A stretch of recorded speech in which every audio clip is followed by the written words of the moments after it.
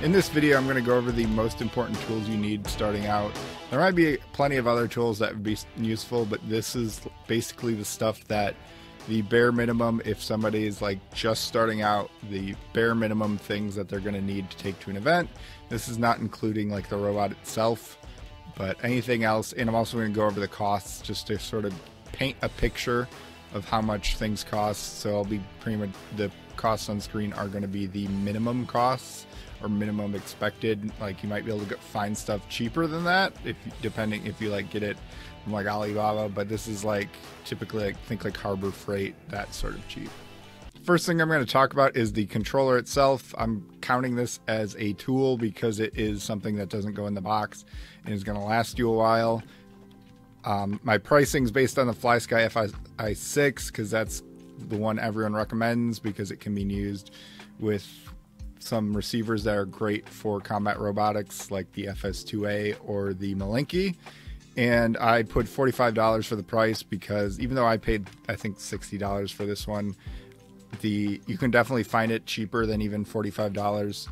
Um, I think you might be able to find even cheaper ones than the FlySky FSI 6, but I feel like anything cheaper than this, you're probably going to be missing out on some features. And unlike other tools where if you buy a cheap one, it just ends up breaking and then you have to replace it. If if you buy a cheap one of these, you're going to end up having to replace it because it doesn't have features you need. So this is going to be one of the big price points starting out, most likely. The next thing I'm going to talk about is the battery charger or LiPo charger.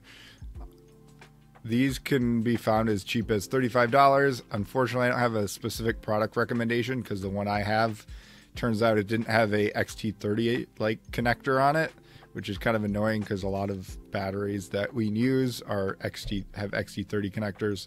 So when you're looking for one, make sure or even buy separately the adapter, make sure you have the right adapter for the batteries that you have. Um, typically, you're going to want JST and XT30, especially for ant weights, maybe XT60 on the bigger robots. You're also going to need a LiPo bag. Pretty much every event that I go to uh, recommends, or sorry, not recommends, requires you to have a LiPo bag for charging. Uh, those can be found pretty cheap though. Also, I should note for the pricing of the soldering kit and anything after this, I got the prices off of Harbor Freight because I felt like that'd be a good baseline for the minimum cost. Even though you could find something cheaper, that's going to be the cheapest that you'll be able to find readily. Next, you're going to need a soldering kit. It should include obviously the soldering iron itself, or if you buy these, you can buy these things separately, however you want to do it. But it needs to include the soldering iron itself, a little stand for it because it gets hot and you don't want to set it on the table, solder, and a little thing to clean off the tip of the soldering iron. I also recommend having flux because it just kind of helps get you know solder off of things. Um, this is one of those things that it's easy to find them pretty cheap, and a cheap one will go a long ways. But getting a more expensive one maybe later on is to actually help you a lot. Um, I am personally of the philosophy that if you're buying a tool, I would buy a cheap one, and if you're using it enough that it breaks, then buy a nice one because a lot of times, you know, you might buy a tool and then you buy an expensive version of it because you're like, oh, I'm going to buy an expensive one. And it's going to last me forever. But then you never use it again because you use it for like one project. Next thing is wire strippers shouldn't need too much explanation as to why. Just I would just make sure that the on the smallest end that they're able to strip 22 AWG wires. That's probably about as small as you might go.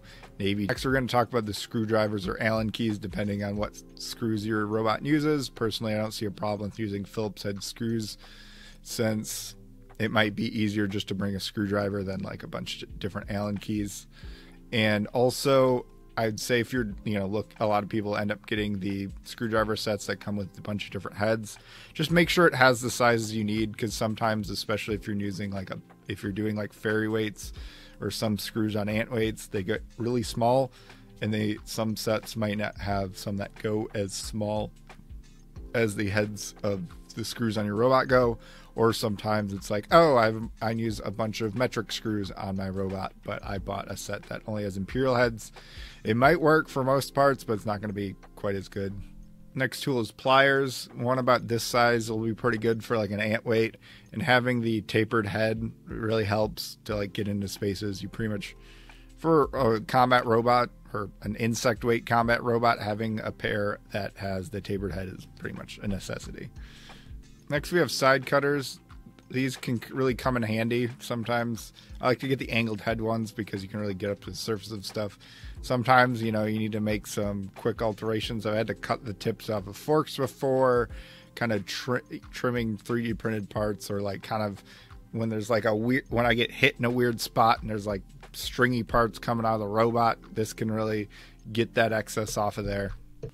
File is another thing. A lot of times I've had to like smooth out forks, you know, that have gotten chewed up or something is kind of after hits a lot of times things you get burrs that aren't you don't necessarily want there. Sometimes you smooth things out so you're not scraping against the ground or maybe you want to be closer to being scraping off the ground but not quite.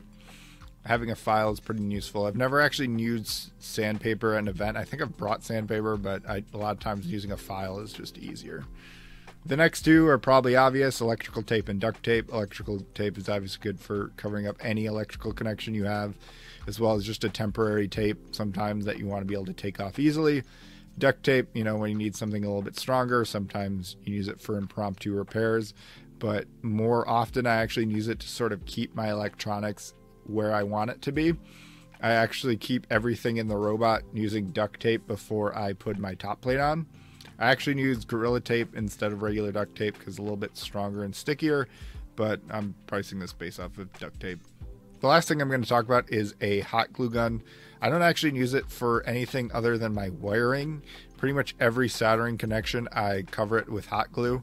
Now, it acts as a little bit of a um, insulator, but also the hot glue strengthens the connections because there's definitely been a couple fights where I've lost where connect where soldering connections just failed and I like to use hot glue to reinforce them.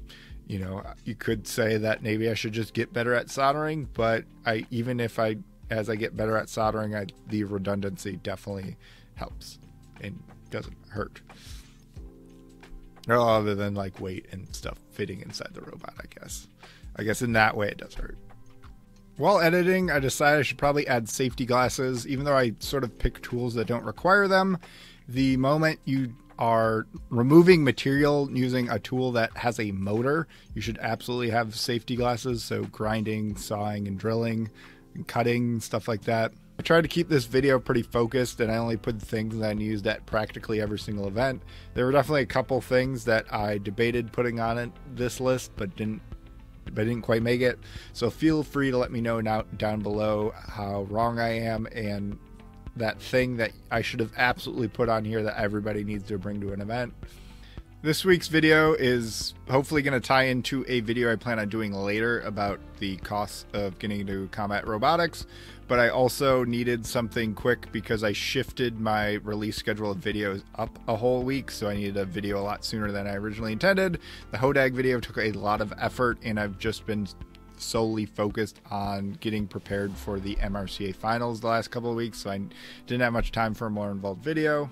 With that said, if you're watching this the week this video comes out on Saturday, they're going to have the stream for the MRCA finals with the best Antweight and Beetleweight bots in the Midwest. I'll be driving Bigfoot there. And if you want to catch that, go to Robot Smashing League here on YouTube on Saturday. If you're looking for something to watch next, here's my video on combat robot electronics, focusing mostly on ant weight robots.